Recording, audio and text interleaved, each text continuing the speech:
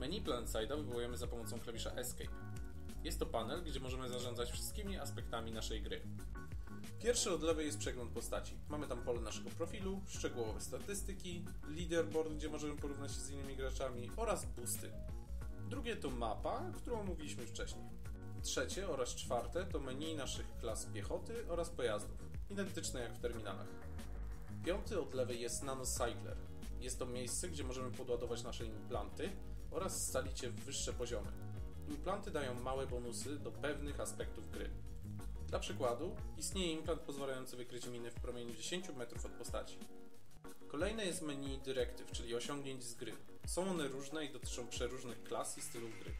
Dla przykładu, jest osiągnięcie wymagające od nas zabicia 300 przeciwników określonym rodzajem uzbrojenia. Każdy poziom dyrektyw daje nam określoną nagrodę, coraz lepszą im wyższy jej poziom osiągnęliśmy. Zakładka Social służy do komunikacji z innymi graczami. To tutaj są składy, do których można dołączyć. Każdy skład ma swoją nazwę, kontynent, na którym operuje, ilość członków oraz outfit, który nim zarządza.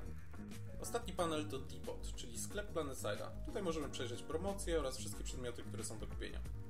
Prawym dolnym rogu znajdują się opcje, gdzie możemy zarządzać klawiszami, grafiką oraz innymi rzeczami tego typu.